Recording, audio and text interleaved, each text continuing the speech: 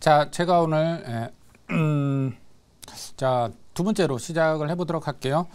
자, 이제 지수 얘기를 좀 뭐 간단히 해보면 지수는 이제 변동성이 확 죽었습니다. 제가 이제 변동성이 어, 뭐 조만간에 죽는다 그랬죠. 변동성이 죽으면 어떻게 되느냐? 음, 한 3개월에서 6개월 사이에 계속 우상향한다 이렇게 보여집니다. 그러니까 하루에 0.5%씩 왔다 갔다 왔다 갔다 왔다 갔다를 3개월에서 6개월 정도 내내 합니다. 지수는 지겨워요. 지수는 지겹고 시가총액 상위 종목군들은 그렇게 크게 안 올라갑니다. 안 올라가는데 어, 희한한 에, 잡테마주들 올라갑니다.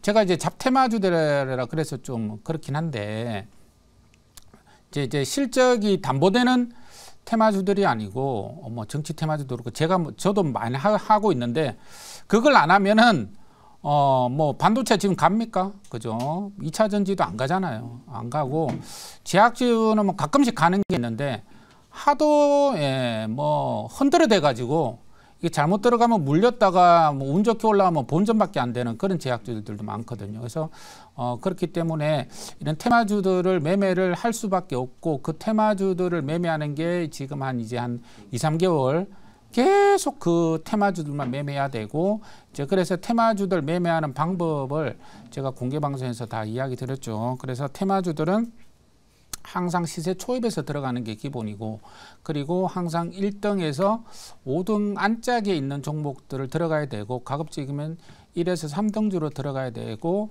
그리고 그 1에서 3등주를 고점에서 추격으로 어, 들어가는 게 아니고 반드시 눌렀을 때 들어가야 된다. 이렇게 이야기 드리겠고 어, 앞종 고점, 첫날 고점을 넘기는 종목은 1등에서 예, 3등 안짝에서 넘겨버리거든요. 그렇기 때문에 어, 눌렀을 때 들어가도 먹을 게 별로 없어요. 사실은 그렇기 때문에 앞종 고점을 넘겨가 넘기는 테마 예, 그죠? 그런 것들로 좀 유, 예, 주목을 해보자 이렇게 이야기 드리겠고 코스닥 지수 잠깐 보시면 자, 코스닥 지수는 이렇게 돼 있죠. 그죠? 자, 여기 보시면 에, 자, 여기 네모를 한번 쳐 볼게요. 여기 이게 밑에 이제 이게 스토캐스틱입니다. 에, 자, 차트 볼게요. 자, 여기 이제 스토캐스틱 여기 이제 빨간 색깔 요 밑에 적어 놨는데 이걸 이제 색깔을 좀 지어 보면 에, 여기서 예, 자, 이렇게 색깔을 좀 지어 보면 이렇게 여기 높죠. 에, 여기 높아요. 이렇게 높으면 있잖아요. 어, 한 일주일, 이주 사이로 요거죠. 요가 비슷하겠죠. 에, 작년 6월 달. 그죠? 요거 조금 올라갔죠. 에, 조금 올라갔다가 두드려 맞아 버리잖아요. 그죠? 자, 그래서 어, 한 12월 초 중순에는 처맞는다 이래 보여집니다. 처맞기 전에 이 테마주로 계속 먹고 있어야 됩니다. 먹고 있다가 처마 처막 일보 직전에 현금 확보하고 이런 식으로 매매를 해야 됩니다. 이게 무조건 올라가는 게 아니고 예, 두드려 맞더라도 요거 이제 작년 6월 달 요거 또 이렇게 두드려 맞았지만 요 두드려 맞은 폭이 한 5, 6대요. 그러니까 5, 6 됐다가 다시 앞전 고점 또 올라가잖아요. 그죠? 그러니까 이런 식으로 진행이 되니까 어, 잘 예, 보시고 코스닥은 아직 요 과열권에 진입을 안 했죠. 그래서 지금 현재로는 코스닥 종목을 매매하기가 좋다. 이렇게 이야기 드릴게요. 자, 그리고 이제 종목 이야기 해볼게요. 종목은 넥슨 게임즈를 오늘 지금 현재 16,140원에 매도를 해보도록 하겠 습니다. 참 징하게 안 갑니다.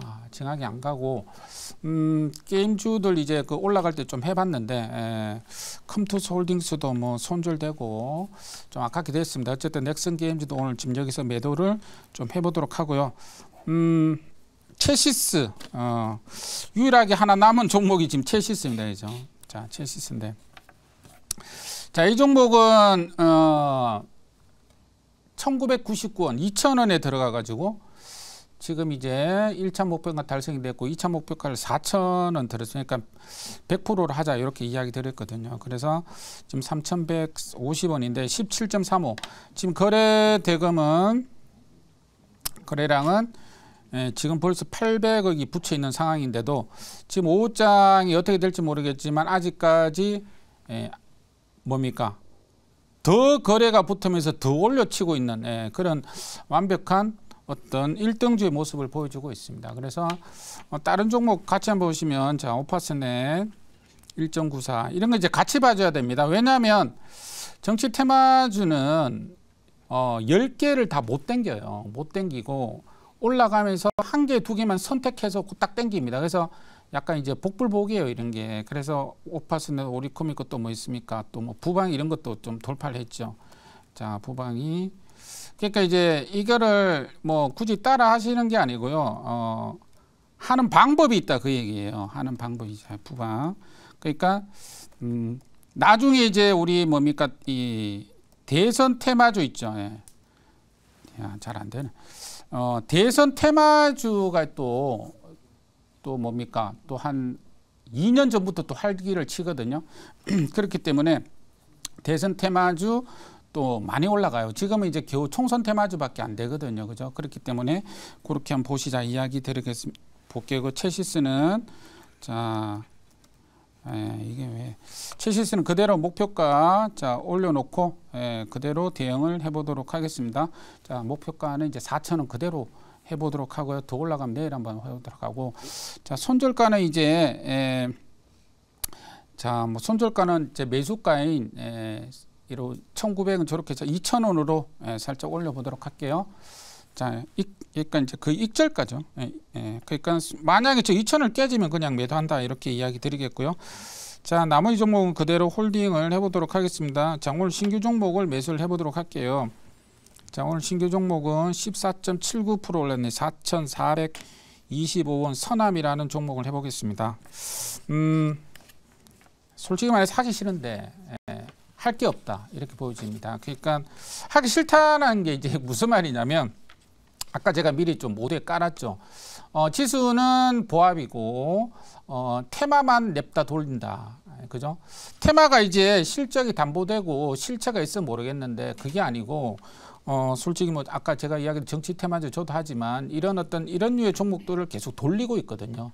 돌리면 어, 돌리는 대로 그냥 배팅하자. 그 주의입니다. 제가. 그러니까 이거를 예, 이게 이제 1.5일차 매매라 그래요. 그러니까 첫날 일단 붙여주고 그 다음날 오전 한번 더 급등하는 경우가 있거든요. 10시까지. 그 다음날 10시까지 한번 더 땡겨주고 빼버립니다. 그게 1.5일차 매매입니다. 그러니까 어, 트레이딩, 데이 트레이딩 하는 사람은 음, 요런 매매를 많이 합니다. 근데 대신 뭐 그냥 에, 자기 혼자 개별적인 개별 개별적인 뉴스로 그냥 땡기 땡겼다고 들어가 가다가는 그냥 어, 그날 장중에 그냥 바로 쳐맞는 경우 되게 많아요. 그렇기 때문에 이거는 반드시 섹터로 들어가야 된다 이야기 드리겠고 자 오늘 보시면 선암은 이게 초전도체 종목입니다. 어, 초전도체 그냥 테마적으로만 보시면 될 것 같고요. 이게 오늘 왜 올랐냐면 자 CCS라는 종목이 있어요. 예, CCS라는 이 종목이 있는데 이 회사가 오늘은 1.2% 내려갔죠. 지난 임시주총에서 자 한번 읽어볼게요. 그죠? 뉴스 나온 거 한번 읽어보겠습니다. 지난 임시주총에서 사업 목적으로 추가한 상온 초전도체 등 신사업에 진출한다는 뉴스로 CCS를 땡기지를 안 하고 덕성하고 뭐 뭡니까 뭐 신성델타테크, 모비스, 파루스 이런 걸 땡겼어요. 그냥 딱 뉴스만 딱 봐도 냄새가 풀풀 납니다.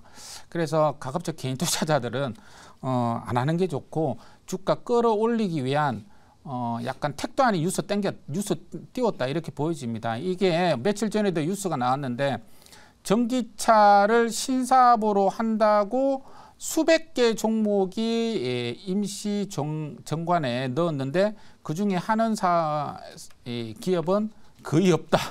그 얘기 나왔고 옛날 또 옛날로 돌아가면 한 10년 전 돌아가면 화장품 많이 올라갈 때 한 50개, 100개 종목이 화장품 하겠다고 임시 주청 열어 가지고 예, 정관에 다 넣고 사목적에 넣었는데 예, 그런 이 뉴스가 나오자마자 화장품이 다 급락 나왔습니다. 자, 그래서 이게 요런 어떤 예, 신사업에 진출해서 예, 정관에 추가한다 이런 뉴스가 나오면 다 고점 때린다고 봐야 됩니다. 그런데 왜 들어가느냐? 방금 이야기 드린 대로 1.5일차 매매란 게 있어요. 첫날 급등하고 그 다음날 오전도 아니에요. 그냥 10시까지 갖다 땡기고 그냥 탁 죽여버리는 그런 단기 트레이딩 매매다. 이렇게 이야기 드릴게요. 질문 받아보도록 할게요. 네, 제가 질문 한번 해보도록 하겠습니다. 오늘 이제 덕성이라는 종목이 상한가를 들어가면서 이쪽 관련된 종목들이 좀 드라이브 걸리는 것 같은데 사실 지금의 어떠한 시장의 테마들은 이 정치 테마 쪽이 좀 더 그 수급이 좀 많이 모멘텀이 몰려 있거든요. 근데 이 초전도체는 연속성이 좀 있을지 아니면 우리 노무님께서 말씀하신 것처럼 지금 뭐 1박 2일이나 아니면 뭐 이번 주 정도까지 트레이딩 관점 보시는지 아니면 좀 약간 좀 끌고 가도 되는 그런 테마인지 한번 궁금합니다. 네, 이 초전도체 일정은 있잖아요. 이번 달 말에 백서가 나옵니다. 이게 이제 LK99라고 상온 초전도체 후보 물질 그거 있죠, 그죠? 예, 그거의 검증 결과를 지금 검증을 계속 한 한두 달 계속 하고 있는데 어, 그 결과를 정리한 백서가 이번 달 말에 공개가 됩니다.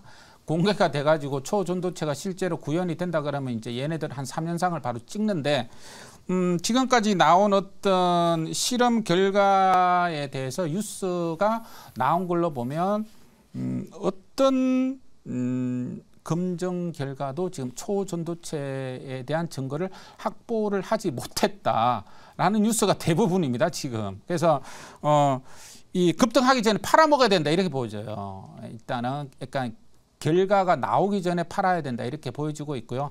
에, 제가 이제 모두 이야기 드린 대로 실체가 없습니다. 그러니까 이런 이런 실체가 없지만 방금 이야기 드린 대로 단기 트레이딩으로 보고 11월 말에 백서가 공개되기 전에 그 기대감이란 게 또 있거든요. 이 테마주들은 보통 그러니까 그 기대 지금 11월 말이면 이제 다음 달 아닙니까? 아니 다음 달이 아니고 일주일밖에 안 남았잖아요.